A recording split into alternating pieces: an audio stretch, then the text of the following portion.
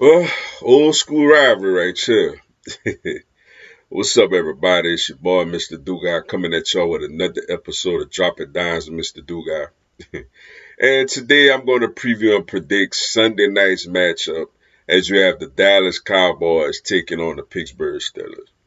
Um, before I get into this video, man, for anyone, if you want to donate to the channel, follow me on social media. Also, I co-host a sports talk radio show every Sunday. All that information gonna be down in the description box.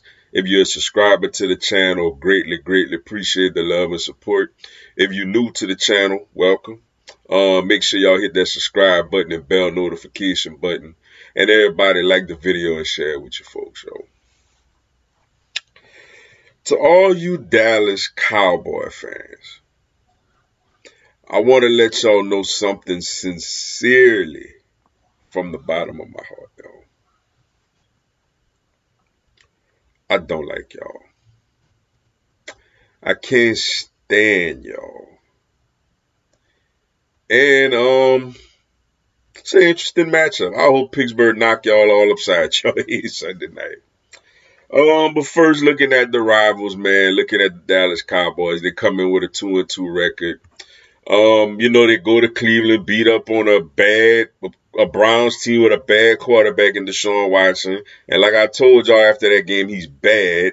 And he's been bad ever since. Now I get it. He could probably look good against the Eagles next week. But right now he bad. You know, um, then they go home get Miley whopped by the New Orleans Saints, who the Eagles beat, and also get Miley whopped, but made a valiant comeback effort against the Baltimore Ravens and then it's just a complete dud of a football game. Escape the New York Giants on Thursday. Um, Dak hasn't been great. He hasn't been terrible, but he hasn't been great. The running game, for the most part, has been non-existent. CeeDee Lamb is still that dude. CeeDee Lamb is still legit. I do like they tight end Ferguson a lot. Um, and defensively, they've been getting shredded by rushing attacks, but they did really, really good against the New York Giants running the game last game because Saquon Barkley paid for us now. He's not with the Giants no more. Um, and then you look at the Pittsburgh Steelers, man. They come in with a three and one record. They just lost their first game against Indianapolis last week. Before that, um, you know, went to Atlanta, got it done against the Falcons. Um, you know, it then had a um, you know, had a win at home against the Los Angeles Chargers. I think that was the third game.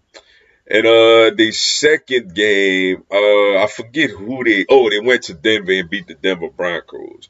Um, so they come, then they lost to the Colts last week, and Joe Flacco of all people, and the Colts. So they come in with a three and one record. Um, Justin Fields had a good statistical game in his last matchup. Um, before that, he hasn't really done nothing great, but they've been winning. You know what I'm saying? Um, and mostly, you know, George Pickens, I think, is a really, really good, solid receiver, and Freiermuth at tight end. Uh, the running game been okay, but defensively, man, they get after you. Uh, except for last week, you know, that pass rush with T.J. Watt. Um, they got Patrick Queen over there, linebacker, former LSU Tiger and a really good secondary, you know, with um with Fitzpatrick and Joey Porter Jr., you know, and all of them, man. Um keys to this matchup, man, for the Dallas Cowboys, they gotta they gotta protect Dak. You know, they gotta protect Dak. CeeDee Lamb could get some things going, but they gotta protect Dak, man. Pittsburgh coming with a pass rush. And for Pittsburgh, get after Dak, force some third and longs and some turnovers, you know, with um, with that crowd that Sunday night. Which means to my prediction, man. This is actually a tough game to pick, man. I've been going a little back and forth with this game. But I'm gonna say this, yo. Um Dallas ain't gonna have Neil O'Donnell out there throwing two gimme interceptions to Larry Brown.